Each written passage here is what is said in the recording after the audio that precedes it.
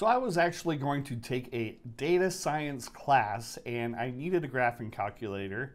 And after doing some research, I came across the TI-84CE. Now this is the color version of the famous TI-84 graphing calculator. And what's great about this is you can actually use the same graphing calculator in high school.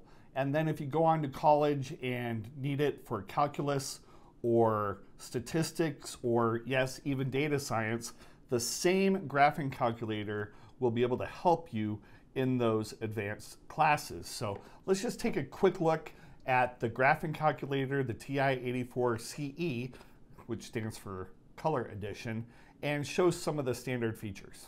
So here it is, the TI-84 Plus CE. Now this is a, the actual color edition, like I said, but this also is the Python edition, which means this could actually help you in data science or whether you're taking uh, a class in high school that uses Python. You know, they're teaching programming as young as middle school now. So this calculator, if you get it, you could actually probably use it for the next, I don't know, however many years you have left in school and then some or that your kids have. So it's a basic calculator. You get the calculator and it actually has this case here that can be used to protect it and it also comes with a USB charging cable that goes right here on the side so you can actually charge it right there. It is a micro USB and you can see kind of some reflections up here, but hopefully you can see some of the details of the calculator right here. Now, as with any calculator of uh, this size and this complexity, uh, you have both second and alpha versions, which means that the second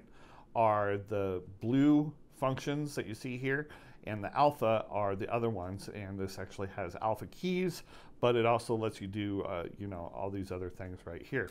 So the first thing you want to do, obviously, is to turn the turn it on, and you get the welcome screen that'll show you all sorts of fun stuff. You could also uh, choose to not show that ever again if you wanted to, but you could use it as a basic calculator or what most people get it for is to do graphing functions for you know uh, algebra, calculus, stuff like that. So to do that, we'll actually just go straight into here.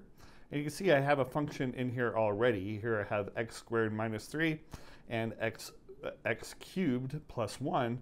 And then if I graph that, you can see that those graphs are right there. And if I go back to this screen, you can actually see the blue is the first one and the red is the second one. And so that is why I actually like the color edition is you could actually see the different functions there and you know you could just go ahead and play with that and do whatever you want in here and, and graph your own functions. But there you go. That is a basic, really basic uh, overview of the TI-84 Plus CE with Python.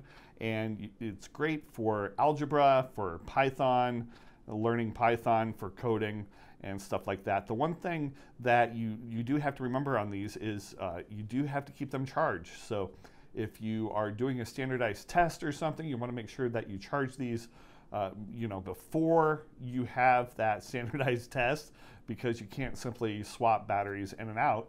But the batteries do last for a fairly long time. So definitely recommend the TI-84 Plus CE with Python for you or your child. Uh, K, well, not K through 12, I guess, but uh, age, uh, grade 6 to 12 definitely, and then on to college, it will actually be able to be used in college for a lot of those math courses.